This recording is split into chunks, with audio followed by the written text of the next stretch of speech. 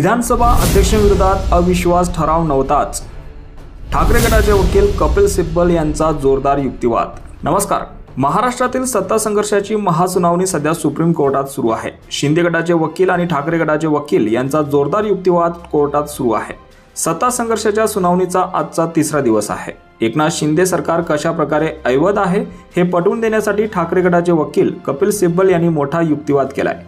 ज्या आमदारांवर अपात्रतेची कारवाई सुरू आहे त्यांनी या सरकारच्या बहुमत चाचणीत मतदान केलंय असा दावा करण्यात आला. तर आमदारांना अपात्रतेची नोटीस दिल्यानंतर त्यांनीच विधानसभा अध्यक्षांविरोधात नोटीस पाठवली.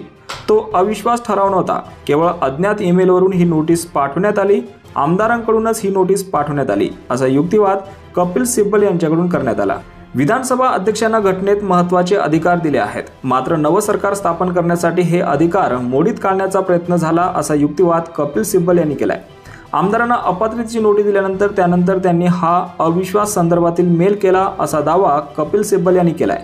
तर मेलवरील केवळ नोटीस होती. उद्धव ठाकरे यांनी बहुमत चाचणीला समोर न जाता मुख्यमंत्री पदाचा राजीनामा दिला. त्यामुळे आमदारांच्या अपात्रतेचा मुद्दा उपस्थित होत नाही असं वक्तव्य सुप्रीम कोर्टाने केलंय. तर नबाम रेबिया खटला महाराष्ट्रात लागू होत नाही असं झालं तर भविष्यात राजकारणावर याचा खूप मोठा परिणाम होईल.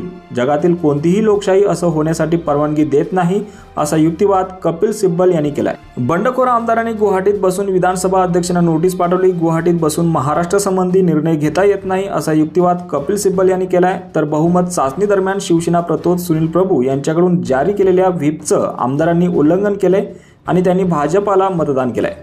शिवसेना कुणाची हा खटला सध्या निवडणूक आयोगासमोर आहे. मात्र महाराष्ट्राच्या सत्ता संघर्ष आणि शिवसेनेतील बंडखोरी या एकमेकांशी संबंधित केसेस असल्याने आमदारांच्या बंडखोरीचा मुद्दा आज सुप्रीम कोर्टात मांडण्यात आला.